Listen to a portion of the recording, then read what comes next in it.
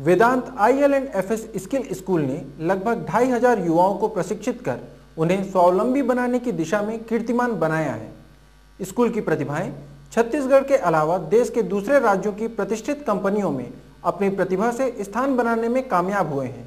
आइए मिलते हैं एक ऐसे ही युवक से जो वेदांत स्किल स्कूल के छात्र रह चुके हैं।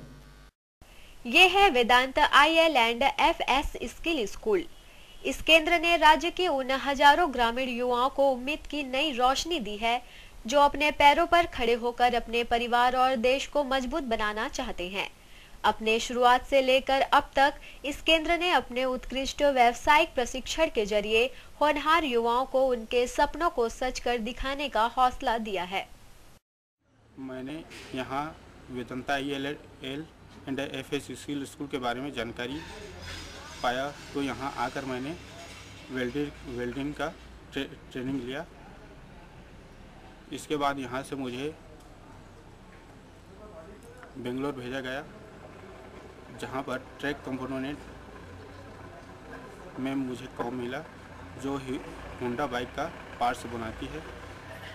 और वहाँ पर मुझे सैलरी में सात हज़ार से बेसिक स्टार्ट हुआ था।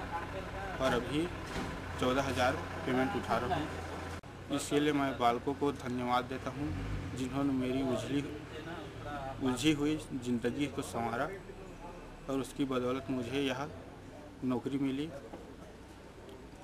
और इस नौकरी में वहाँ ट्रैक ट्रैक कंपोनेंट के एच आर से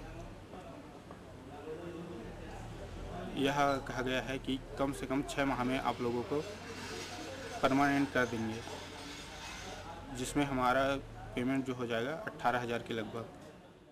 अभी आप राम कुमार से जैसे आप मिले हैं, ये हमारे यहाँ वेल्डिंग में मिग वेल्डिंग में प्रशिक्षण लेके बेंगलोर की टैक्स ट्रैक कंपोनेंट कंपनी में प्लेस किया था।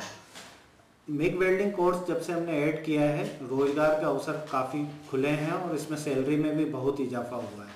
रिसेंटली जिन बच्चों को हमने, जो बच्चे यहाँ से ट्रेनिंग लेके गए थे, उनको साढ़े नौ हज़ार में हमने सात, साढ़े सात हज़ार से लेके साढ़े नौ हज़ार एंट्री लेवल पे दिलवाए और जिन्होंने परफॉर्म अच्छा किया ऑपरेटर लेवल पे गए, उनको चौदह हज़ार तक मिला है। और कई ऐसे ट्रेनिज भी हैं जिनको अब परमानेंट ऑन रोल आने वाले हैं वो कंपनी में।